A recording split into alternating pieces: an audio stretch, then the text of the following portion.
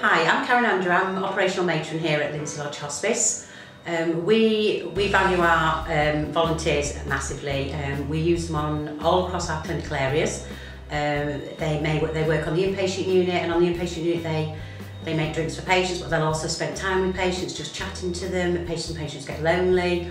Um, one of our volunteers actually um, goes and does some shopping for, for, for our patients on both inpatient and well-being, so that's a real help to them. Um, but we have we have volunteers also who are therapists. We have volunteers who work on our reception. They work in every area um, of our of our clinical areas. Um, we we couldn't manage without them. Um, they and we always treat them as part of our team. Um, they're really important to us um, and they are an absolute asset and um, they're amazing. Hello, I'm Steph and I'm volunteer in the daycare wellbeing centre on a Friday. Originally I was just supposed to be on the reception area, so signing patients in when they came and, and for their appointments and greeting them. But I also get involved in whatever's happening in the wellbeing centre, so the crafts and getting ready for lunch and all, and just talking to patients.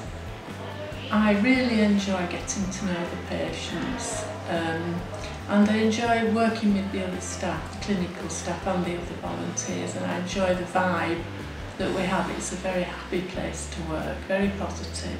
Um, my name is Lee, elderly, um, and I come in on a Friday morning and volunteer in the inpatient unit um, by ensuring that all the patients have clean, fresh water and then I take round uh, their dinner menu, ask them their preferences and try to help them with anything they need in the interim, like maybe a cup of tea or coffee. Um, and then in a few minutes from now, we'll start serving them their meals for me, it makes me feel as if I'm useful. It makes me feel as if I'm contributing something. Um, because as a retired person, I'm out of social functioning to a large extent.